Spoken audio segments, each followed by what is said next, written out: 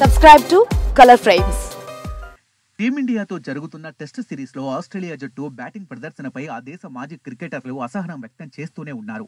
భారత బౌలర్లకు భయపడుతున్నారని వారిని ఎదుర్కొనేందుకు ఏమాత్రం తెగువ చూపడం లేదని ఇప్పటికే ఆగ్రహం వ్యక్తం చేశారు.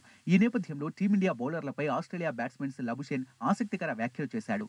భారత బౌలర్లను ఎదుర్కొని పరుగులు చేయడం చాలా కష్టమని పేర్కొన్నాడు. తాజాగా లబుషేన్ ఓ ఇంటర్వ్యూలో మాట్లాడుతూ ఈ టెస్ట్ సిరీస్లో భారత బౌలర్లు అద్భుతంగా బంతులు విసురుతున్నారు.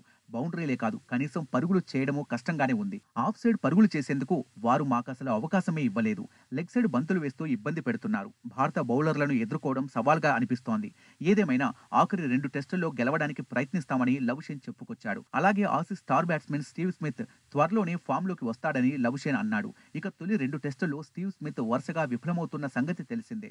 నాలుగు ఇన్నింగ్స్లు ఆడిన అతడు మొత్తంగా పది పరుగులు సైతం చేయలేదు. ఇందులో రెండుసార్లు అశ్విన్కు చిక్కగా ఒకసారి బుమ్రా బౌలింగ్లో అవుట్ అయ్యాడు దాంతో భారత బౌలర్లపై అతడి టెక్నిక్ బాగాలేదని విమర్శలు వస్తున్నాయి. ఇదిలా ఉండగా మెల్బోర్న్ వేదికగా జరిగిన బాక్సింగ్ డే టెస్టులో టీమిండియా ఎనిమిది వికెట్ల తేడాతో విజయం సాధించింది.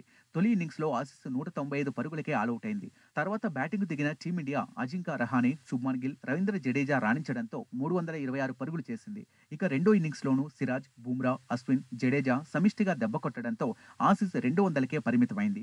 మరోసారి రహానే శుభ్మన్ గిల్ రాణించడంతో టీమిండియా అద్భుత విజయం అందుకుంది please subscribe colour frames colour ఫ్రేమ్స్కి subscribe చేయండి Subscribe to Color Frames. Please subscribe to Color Frames.